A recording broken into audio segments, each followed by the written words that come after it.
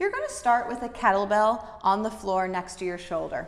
You're then going to roll into fetal position like you're going to do the quarter get up. Grab that kettlebell and roll onto your back. Nice straight wrist, arm is locked into the shoulder socket, knee is bent on the same side that the kettlebell is up, and the opposite arm and leg extend out at a 45 degree angle.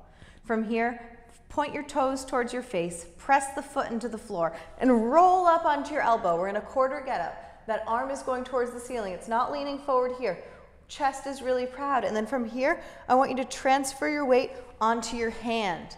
So the hand is just behind my hip here, and I'm sitting up tall. Then I'm gonna roll back to the elbow and come to the floor. Again, we press through the foot, roll up onto your elbow, and then come up onto the hand, sitting tall. Make sure you're not slouching here, pressing through your hand, and opposite hand and foot are pressing into the floor, and then roll back down. One more time, it looks like this.